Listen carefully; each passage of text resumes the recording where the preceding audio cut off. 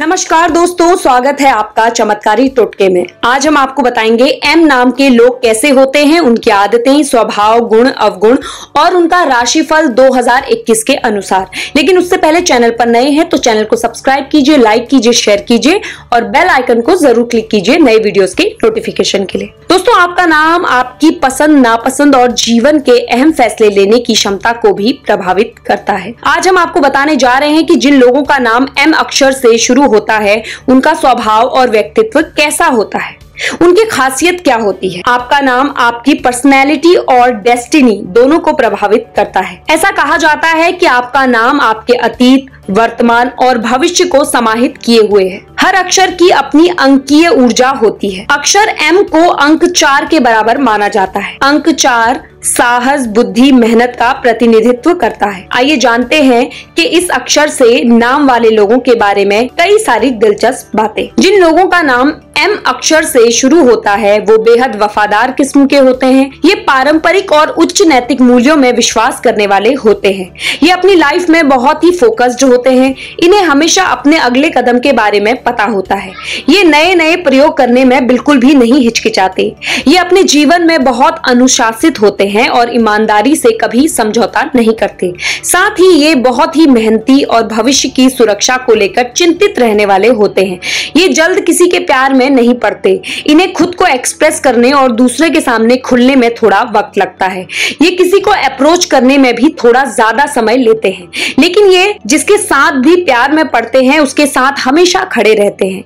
ये अपने करीबी और दोस्तों के लिए दूसरों से भी लड़ जाते हैं। जो एक बार ठान लेते हैं, उसे पूरा करके रहते हैं। इनका आत्मविश्वास इनको कामयाबी भी दिलाता है। आप उन लोगों में से नहीं है जो बदलाव आने का इंतज़ार करते हैं, बल्कि आप बदलाव लाने में यकीन रखते हैं। गंभीर सोच वाले व्यक्तित्व के स्वामी होते हैं। ये प्रैक्टिकली सोचते हैं। वर्क ओरिएंटेड होने के साथ साथ हर काम को बेहद योजनाबद्ध तरीके से करते हैं। एम अक्षर से नाम वाले लोग बहुत ही संवेदनशील और भावुक किस्म के होते हैं। अगर ये किसी के साथ रिलेशनशिप में होते हैं तो अपना 200 प्रतिशत देते हैं। हर कदम सोच समझकर बढ़ाते हैं। किसी जल्दबाजी में कोई काम या फैसला नहीं करते।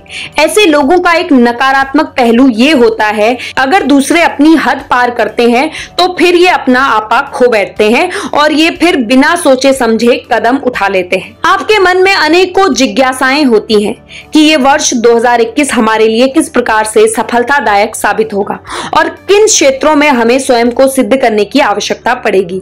इसी को ध्यान में रखते हुए हुए हम आपके लिए राशिफल 2021 लेके आए हैं, जिसके नाम का पहला अक्षर अंग्रेज़ी वर्णमाला का एम लेटर होता है।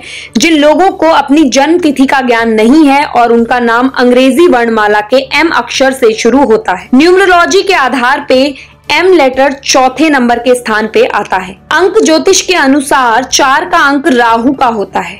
यदि ज्योतिष की बात की जाए तो ये अक्षर मघा नक्षत्र के अंतर्गत आता है, जिसका स्वामी केतु है। और ये सिंह राशि के अंतर्गत आता है, जिसका स्वामी सूर्य है। इसका अर्थ ये होता है कि एम लेटर वाले लोगों के लिए 2021 में राहु, केतु और सूर्य की स्थिति के अनुसार विभिन्न प्रकार के शुभाशुभ परिणाम प्राप्त होने के योग बनेंगे।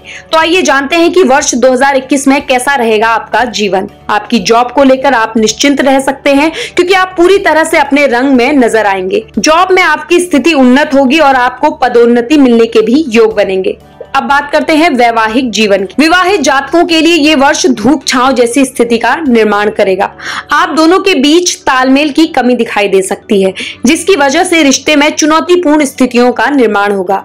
ऐसा विशेष रूप से वर्ष की शुरुआत से साल के मध्य तक होगा। इसके बाद स्थितियों में काफ़ी सुधार आएगा। शिक्षा की बात करें तो शिक्षा के दृष्टिकोण से इस वर्ष की शुरुआत बेहद अनुकूल रहेगी। आपको आशा के अनुरूप परिणाम मिलेंगे, जिससे आप बहुत खुश होंगे।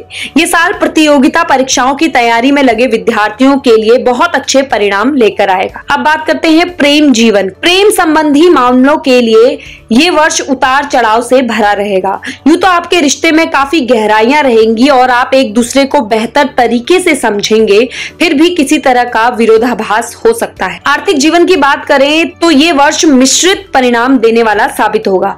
वर्ष की शुरुआत में आपके हाथ में अच्छा लाभ लग सकता है और सरकारी क्षेत्र से भी कुछ अच्छे लाभ की उम्मीद आप कर सकते हैं। लेकिन वर्ष के मध्य से आगे का समय बहुत सावधानी भरा होगा। स्वास्थ्य की बात करें तो स्वास्थ्य ही सबसे बड़ा धन है और अच्छे स्वास्थ्य की कुंजी हमारे हाथ में है। इस वर्ष आपको यही ध्यान रखना होगा कि इस वर्ष आपकी स्वास्थ्य समस्याएँ आपको परेशान कर सकती हैं।